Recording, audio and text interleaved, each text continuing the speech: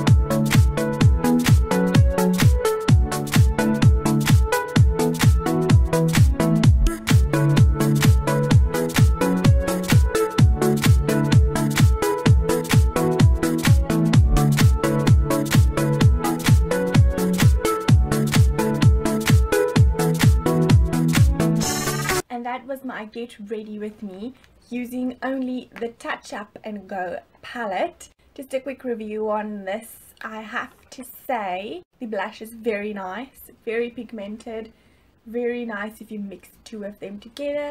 The lip balm is also very nice and nourishing, very nice and soft, smooth texture. When it comes to the eyeshadow pigments, the Only Mauve eyeshadow is about a 5 out of 10.